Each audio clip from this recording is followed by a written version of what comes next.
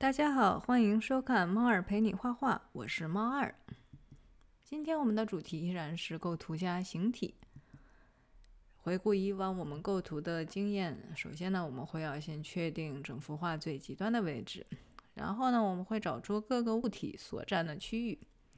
那如果这个物体呢，它有多个部位，那我们会在它相应的区域内去规划它的部位。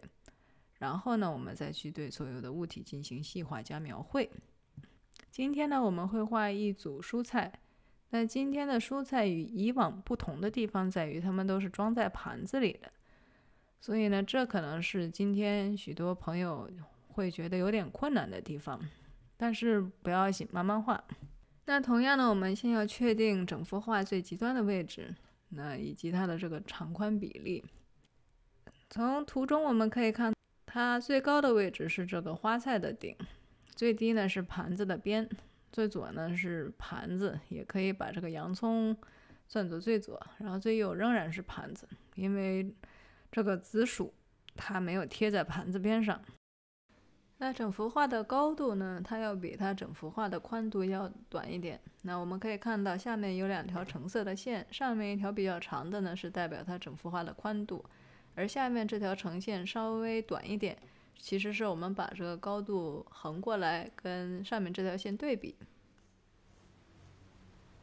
首先，我们先确定上下左右的位置，然后呢，把中线加好。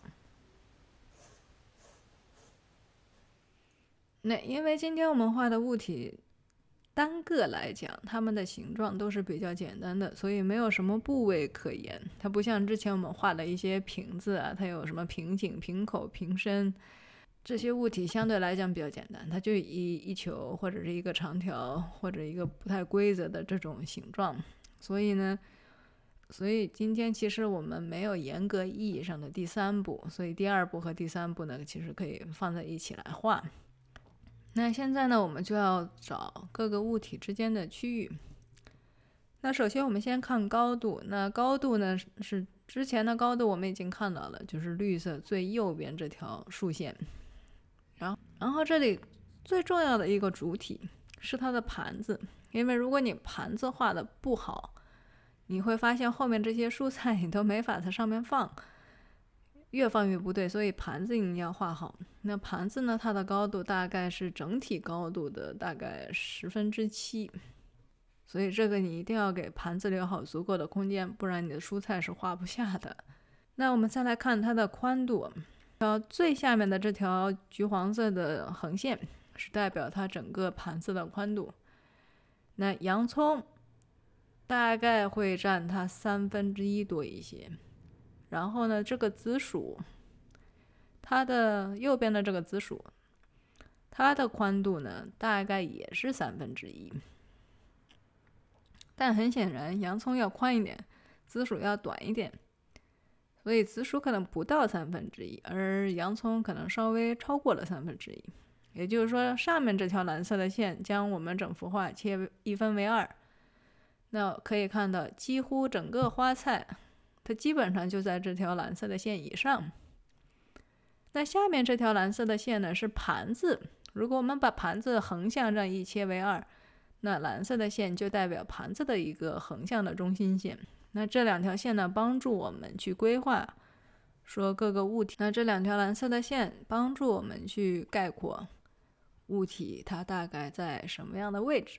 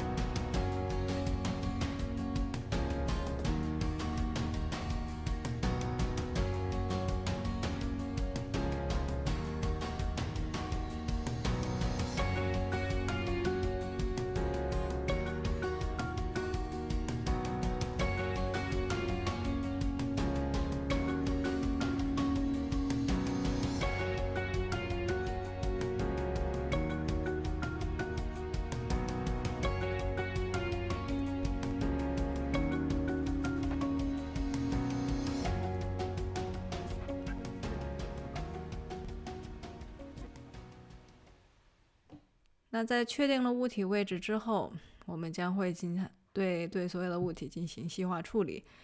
首先呢，我们要先确保它的边缘有清晰的勾勒出来。那它之后呢，会有一些细节，比方说洋葱，它这个葱的皮破裂的地方可能要表现一下。然后花菜，它的这个纹路，它其实一球一球，它是有一定生长形态势的，所以你要把它差不多勾一下。然后呢，这个胡萝卜它上面有一些纹路，也要相应的处理一下。然后这个紫薯。它非常粗糙的这个皮。